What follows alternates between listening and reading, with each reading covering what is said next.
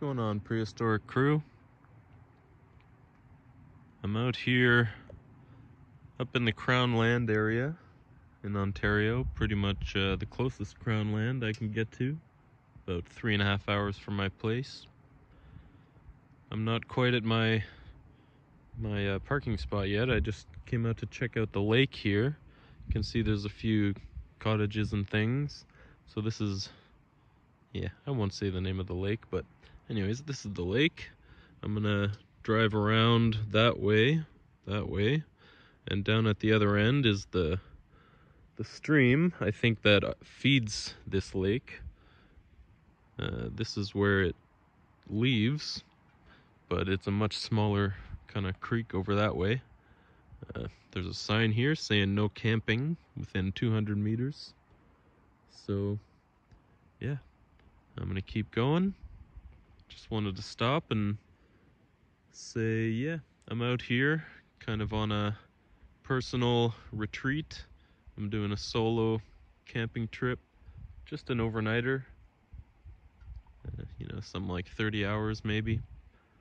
Um, yeah, I won't be filming much. It's more for myself and less for the, the channel, but I do want to, you know, update a few things along the way and just kind of share some of the scenery that's out here because it's going to be pretty great. All right, catch up in a bit.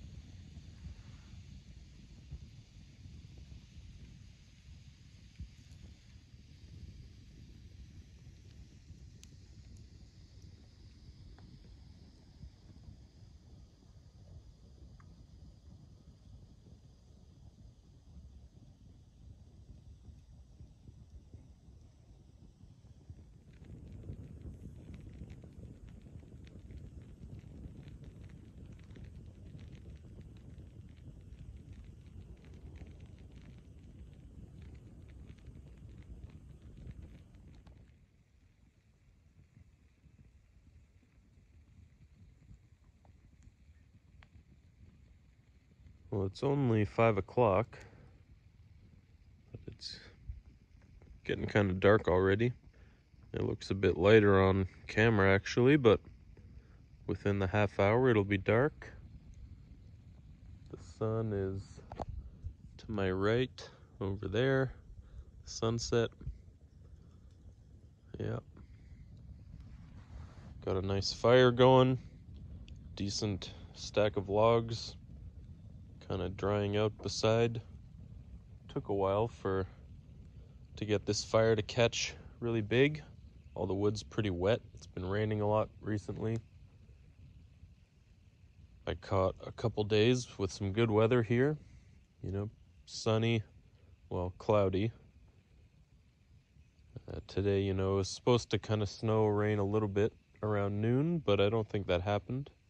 I got in around 1, 1.30, much later than planned, so this day was pretty much just about getting set up, and I managed to do that. I got my tent, tent set up, everything inside, heated up some coffee, and I'm about to heat up some pork, pork tenderloin that my wife and I cooked up yesterday. Make a couple sandwiches, have dinner, chill out for a little bit, but uh, this is going to be a fairly early night. And then I'm planning to wake up to catch the sunrise, which should happen over in that direction. Should be nice. Anyways, I think that's the that's the last little bit I'll film for tonight. Just gonna sit here and stare at the flames for a while. Always my favorite part of camping out. I didn't bring any, you know, flint knapping or other activities with me. I just planned to hang out and, yeah, watch the fire, do a bunch of thinking, and that's about it. Alright, catch you all tomorrow.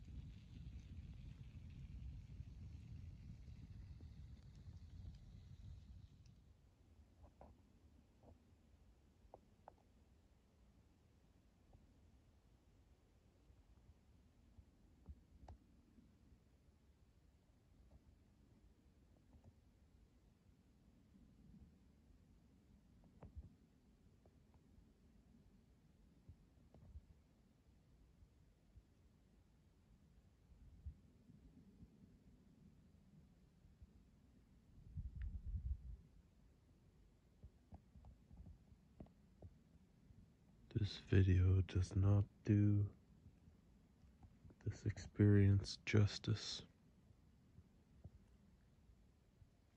There are no words to describe the sight. The feeling, realizing it's a full moon tonight. Looks like it. I had no idea. I just picked the day based on the weather. Couldn't have been more perfect the look of that, you know, moonlight glowing off the frozen lake here, it's just something else. This shot kind of does it justice, but I wish you could see it in person. It's beautiful.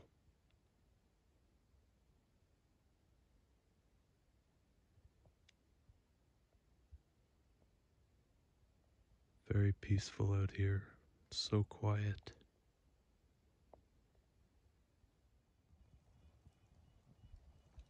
This here looks like a beaver tried to down this tree at one point. Gave up. Although it did get those ones over there. Over there. Yeah, it gave up on these ones and then the tree healed around the wounds and continued to grow pretty impressive.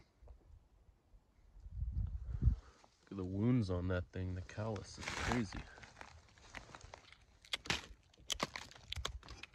still barking there. It's somewhat fresh. A few years old anyways, at least. Pretty gnarly.